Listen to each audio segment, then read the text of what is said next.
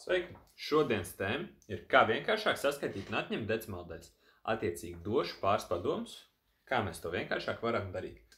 Um, taču pirms tam atcerēsimies, kā mēs to darījām ar veseliem skaitļiem. Ja mums ir jāskaita 10 tūkstoši 19 ar 98, ko jūs man ieteikt darīt? Um, ar zīmolu uzzīmēšu to, ko mēs varētu domās darīt, lai mēs pavisam vienkārši varētu uh, saskaitīt šos skaidrus. Šajā te aplī izdarīšu to, ko mēs varētu darīt, ko mēs varētu darīt uh, galvā. Attiecīgi mēs sadalām 98 par simtnieku un divnieku. Vai mēs piekrītam, ka 100 mīnus 2 ir 98? Es domāju, ka mēs, mēs esam viensprāts, ka 100 mīnus 2 ir 98. Un tātad mēs varam pieskaitīt simtnieku un atņemt divnieku. Rezultātā iegūstot 10,117. Un ļoti līdzīgi mēs varam darīt arī atņemšanā. Esam atcerējušies par veseliem skaitļiem? Tagad ķeramies pie decimāla daļām ļoti līdzīgus, um, ļoti līdzīgs padoms no manas puses ir šāda te metode izmantot arī decimāla daļās. Apskatīsimies uzreiz piemēru. 0,4 plus 2,98. Šeit es gribu ieteikt divus variantus, kā domāt. Pirmais ir ļoti līdzīgi kā iepriekšējā reizē, un otro apskatīsimies pēc tam. Tātad pirmais variants mēs šo te pārvēršam par trīnieku. Zīm, ar zīmolu iezīmēšu, ko daram galvā.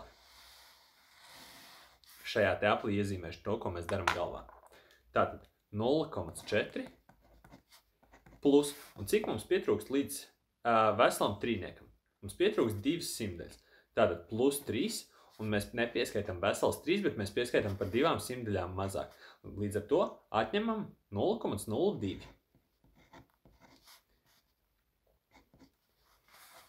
0,4 plus 3 veseli ir 3,4 mīnus 0,02. 3,40 mīnus 0,02 ir 3,38.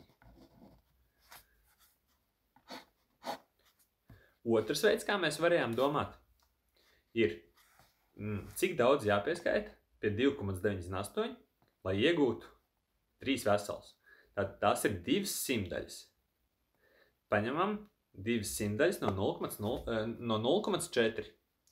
Tātad mums sanāk uh, 3 veseli plus un, di, un par 0,02 uh, mazāk nekā 0,4. Tas ir 0,38. Un tagad saskaitam kopā, arī iegūstam 3,38. Apskatīsimies atņemšanā. Piemēra ar atņemšanu. 1,49 mīnus 0,51. Ko varam darīt šeit? Ieraugam, ka šeit līdz vienniekam trūks 49. Tā kā 49 pār vienam. 49 simtaļas pār vienam. Šeit mums ir nedaudz vairāk kā 49 simtaļas. Tāpēc sākotnēji atņemam 49 simtaļas, iegūstam vienu veselu. Un tad atņemam to, kas ir palicis pāri. Mums pāri paliek divas simtaļas, tātad 0,02. Tad, kad esam pierakstījuši šādi, varam atņemt, un tas ir 0,98. Trešais piemērs, ko apskatīsim, 3,17 plus 1,03. Šoreiz mums ir jāpieskaita nevis mazāk par veselu, bet vairāk par veselu. Līdz ar to mēs varam pieskaitīt vienu veselu un pēc tam atlikušās simtdaļas. Un pamēģināsim. Viens vesels tiek pieskaitīts, mums sanāk četri veseli. Un ja mēs pieskaitām vēl šīs te trīs atlikušās simtdaļas pie 17 simtdaļām, mums sanāk 20 simtdaļas, jeb divas desmitdaļas. Tātad rezultāts mums, tātad pa soļiem pierakstīsim 4,17 plus 0,03. Jo mēs sākotnēji pieskaitījām vienu veselu, pēc tam pieskaitām simtdaļas.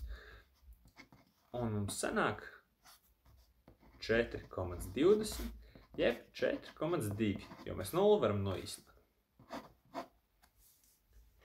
Izmanto šos padomus un esam simtprocentīgi pārliecināts, ka tev izdosies tikt galā ar šīs dienas uzdevumiem.